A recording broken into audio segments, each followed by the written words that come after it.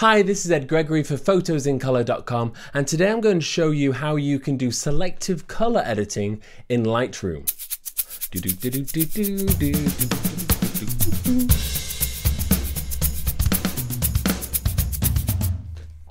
Okay, so selective color editing is basically when you want to edit just one color in an image. So today we're going to use the color red, but you can actually use any color whatsoever.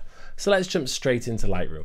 So we have this image of Rosie just here that we photographed in London next to a red phone booth. So let's say we wanted the image to be black and white, but the phone booth to say, stay red. So one way of doing this would be to hit black and white, then go into the brush module just here, um, make sure that the color is set to red down here, and then basically we could paint in the phone booth, but this is going to be extremely hard, time consuming, and you're not going to do a very good job. But fortunately, there is a far better way of doing it. All we have to do is we leave it in color, and then we're going to scroll down here, and just underneath tone curve, we have HSL, hue, saturation, and luminance. Okay, so we hit this and make sure saturation is selected. So we select saturation, and what we're going to do is deselect, desaturate absolutely everything, turning this into a black and white image.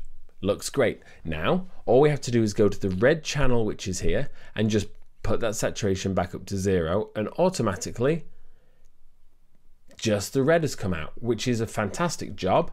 And you can see the phone booth is here. However, we do have an issue because her lips is still red. We will alter that in a moment, but let me show you one quick trick here.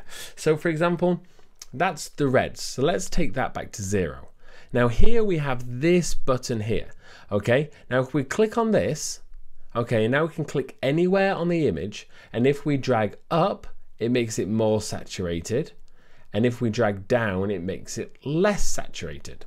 So for example, if we bring all of our saturations back to zero, and now let's just desaturate the reds. We use this tool, we put it on the red here and we drag down we're going to see just the reds are going to disappear. Or over here on the yellows. Okay, and then we can bring the reds back up. Drag up to add saturation, down to reduce saturation. So let me show you on one more image what I mean.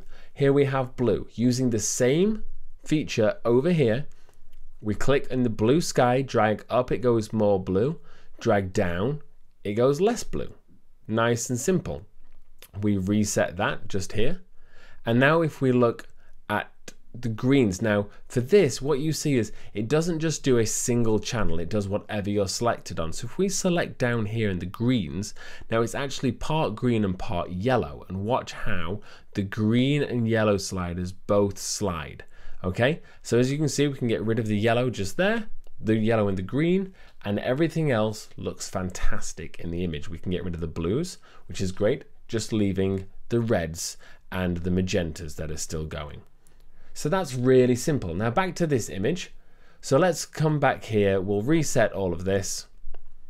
Uh, in fact, we'll set all these to zero because we know that we don't want anything else. We want it all black and white apart from the red phone booth. So if we slide this up, okay, we can see it's mainly in the reds. So let's just make the reds 100% and let's slide this one back down to zero looks fantastic. We could even bring Rose's skin tone back by using the orange because that's where the skin tones live. And now she's included. But let's say we want to just have the phone booth. Great. But we have a problem because her skin her, has some of the red tone in it. So this is where we can use the brush tool and we make sure the color is selected to nothing and saturation, we make this to zero. All we have to do now is paste over the top of the areas which we don't want to have, make sure auto mask is turned off. Make sure that we don't actually want that to show up. Now I did a really quick job there. You could probably do better. Now you might also, for example, this, I don't want the other phone booth to be present. So all I have to do is I can now desaturate the entire thing and that is now completely gone. So incredibly fast. And that's it. And that's how to use selective color editing in Adobe Lightroom. If you like this tutorial, please give me a thumbs up and subscribe because I've got so many more videos with tips and tricks and awesome things on its uh, on their way from Lightroom to Photoshop and all that jazz. So this was Ed Gregory for photosincolor.com. Thank you.